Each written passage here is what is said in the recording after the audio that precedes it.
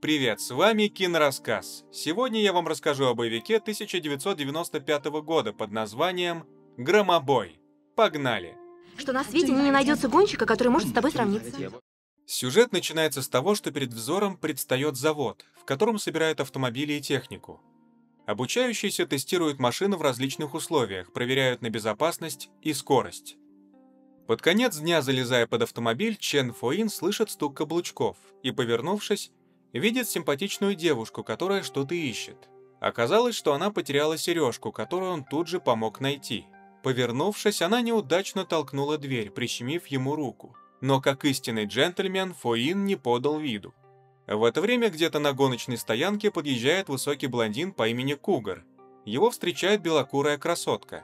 Подозвав Пита, Кугар интересуется насчет некого Тони, но не получив желаемого ответа, он вместе со своей дамой приковывает его наручниками к авто, чтобы наказать несчастного. Спустя какое-то время Кугар встречает друзей, которые дают ему чемодан с оружием, и он сообщает им о том, что отправится в Гонконг. Двое дерзких парней приезжают в автомастерскую, требуя поменять запчасти. Но Чен Фо не любит хамство. Он пресекает наглецов, и они уезжают.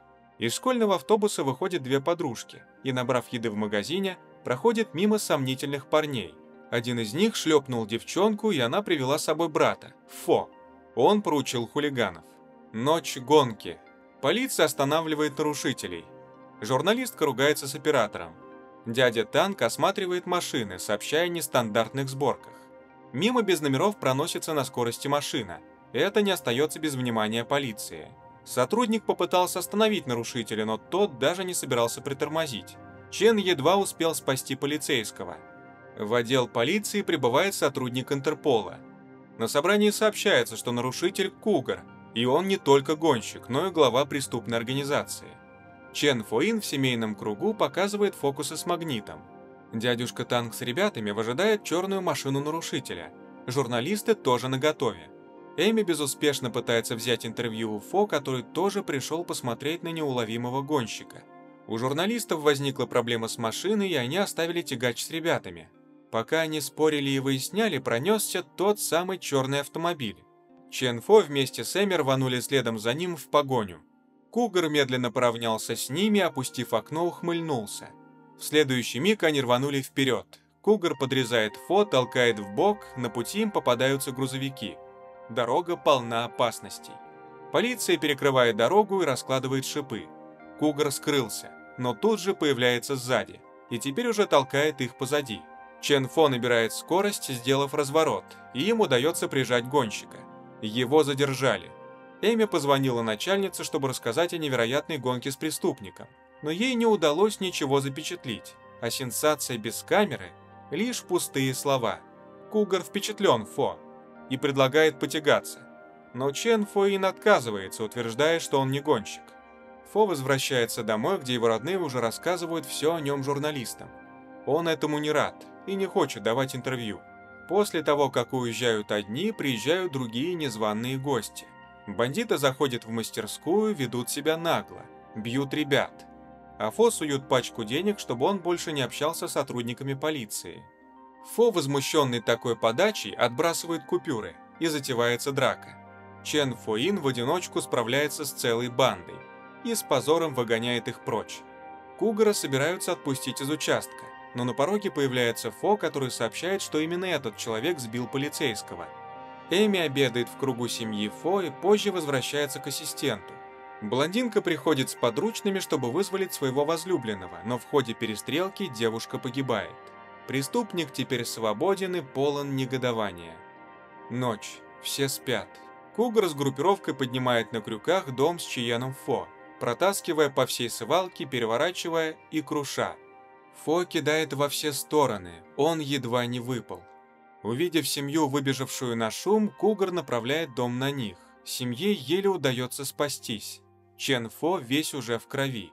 Собравшись силами, он перепрыгивает, ловит сестру, но Саймуй не реагирует, у нее шок. Чен несет на руках сестер и зовет отца. Кугар опускает дом, и он обрушается на помещение. Кугар забирает сестер и назначает встречу. Больница. К Фо приходит сотрудник и допросом выводит его из себя. Он падает в обморок. Эми держит его на руках, успокаивает, пока ему делают укол. Чен Фоин собирается на гонке.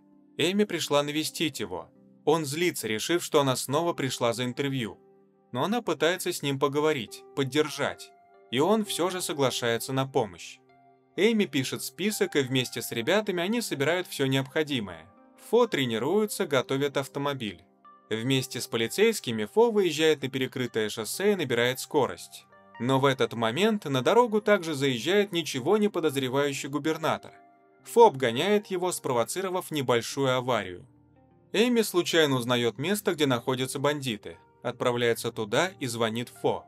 Связанные сестры находятся в развлекательном центре. Фоин заходит в зону купальни и требует сестер, но ему не дают ответа, выгоняя его. Он берет молот, просит всех посетителей выйти и начинает разбивать игровые автоматы.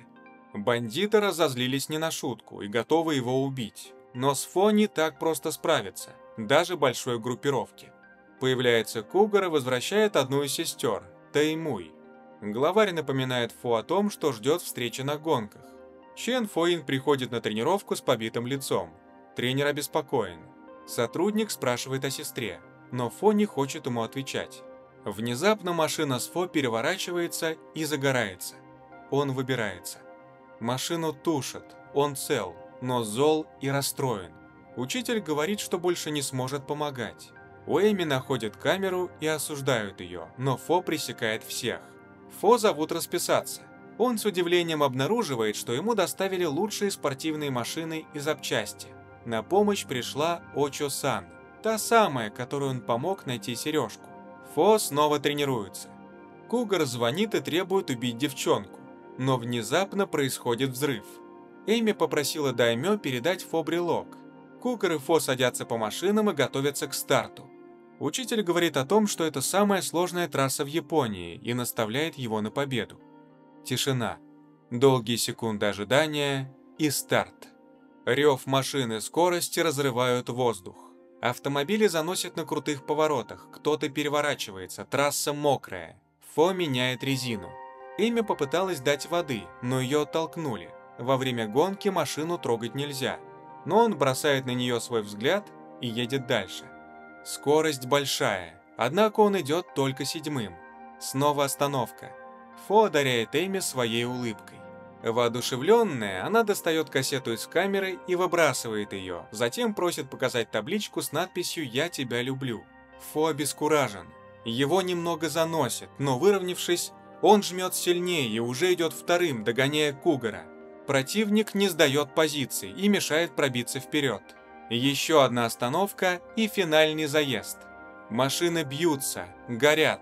Чен Фоин проехал сквозь пламя. Он выходит вперед. Кугар подрезает Фо и забуксировав, они оба оказываются на гальке. Наконец им удается выехать, и они приходят к финишу, однако Чен на доли секунды опережает соперника. Они едут дальше. Фо кричит «Где сестра?». Кугра заносит, и Чен достает его. Приезжает полиция, и с ними сестра Фо. Она жива и спасена. Эми радостно запрыгивает на Фо, и они целуются. Чен Фоин одержал победу. Но для каждого свое понятие победы. Ведь главное – это любовь и улыбки близких.